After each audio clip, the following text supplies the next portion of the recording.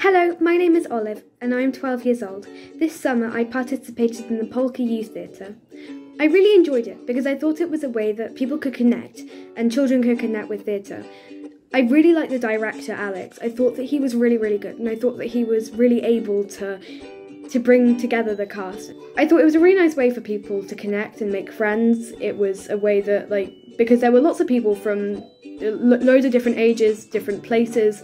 We made friends there. There were there were people who were like us and people who weren't like us, and I think we all I thought I think we all really got along really well. I think it, it, it helps people's confidence. It really helped my confidence. I was really nervous about performing, and I think that it was run in a way that made it seem a lot more reassuring.